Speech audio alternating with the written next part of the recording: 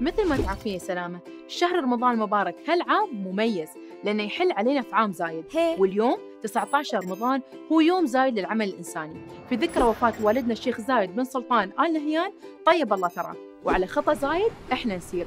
ونقتدي به في القيم اللي علمنا إياها من بذل وعطاء وتسامح. طوال شهر رمضان المبارك هيئة الصحة بدبي عندها وايد مبادرات. مثل توفير وجبات غذائية صحية خلال شهر رمضان لذوي الدخل المحدود ووجبات السحور والفطور لمرتادي مستشفيات الهيئة.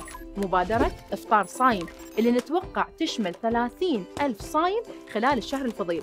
في المبادرات الخيرية الصحية للمحتاجين مساعدة للمصابين بالذبحة أو الجلطة لتغطية تكاليف القسطرة مع كافة العلاجات المصاحبة لمدة ستة أشهر. وبعد مبادرات للمصابين بالفشل الكلوي ومرضى العناية المركزة والعيادة التطوعية لأمراض النساء واللي تشمل عمليات جراحية للمحتاجات. أها. هذه عينة من اللي نقدر نسويه وهذا واجبنا واللي علمنا إياه أبونا زايد الله يرحمه.